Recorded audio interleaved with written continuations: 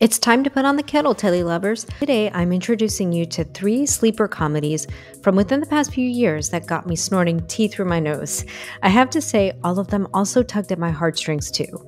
I'm going to start with a series that is most like a typical Britcom. The other one is about a young woman whose father dies suddenly, and at his funeral, she and her mother discover that he had another family. There's some interesting, unexpected parallels and contrasts that unfold between the two families, and a lot of growing pains as they get to know each other. He's dead to me. He's dead to all of us. He's dead. This series is easy to love right from the start, and it makes for a super easy binge with a lot of funny twists and turns. The hilarity eventually gives way to some tender moments as the characters bond on a deeper level. You'll enjoy some familiar actors in the show. For example, Siobhan Finneran as the mistress is dynamite. Your dad was my sexual zenith. In the US, there are two seasons available on Acorn TV, the second of which was released in 2022. In the US, you can subscribe through your Amazon Prime Video account.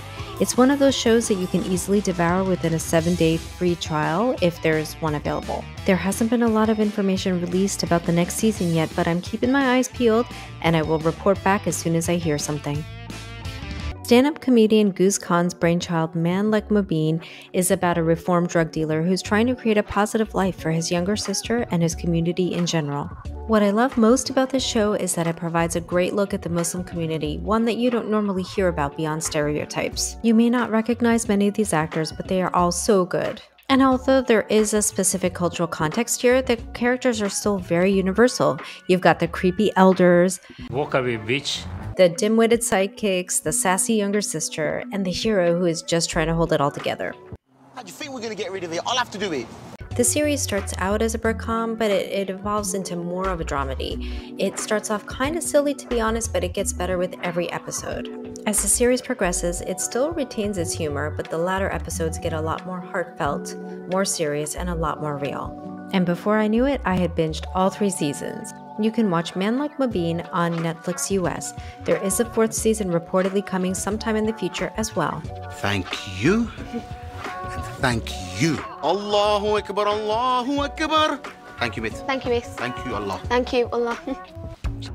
Hard Cell is the creation of comedian Catherine Tate, who you might recognize from her show of the same name. The show is a bit like The Office meets Orange is the New Black. It's about a thespian turned women's prison warden who tries to give the inmates in her charge a creative outlet. Musicals in prison, hell to the yeah. Be aware, the show was panned by critics and it ended up being cancelled after season one. It gives no fiddles in its humor and offending others, and there is a good bit of toilet humor. Despite this, a lot of general audience members seem to enjoy it, myself included. The series takes something as complex as a women's prison and makes it easily digestible, with simple humor and easy characters, even if they are a bit cringy at times. The characters do evolve, and the ending has a lot of heart that you wouldn't expect from the earlier episodes. The ending is a little bit of a cliffhanger, but not so much that you're left in pure agony. You can kind of imagine how things progress after the credits roll and fill in your own version of events. I know I'm giving it a hard sell, but I promise it's worth a watch through to the end.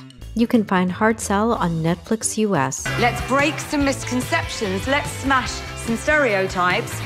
Be yourselves. We I highly recommend all three of these shows the next time you're after a good laugh. If you've already checked them out, I'd love to hear your take on them in the comments. Join me back next week for a new video. I promise it will be titillating. Thanks again for your company today, and a big ta until next time.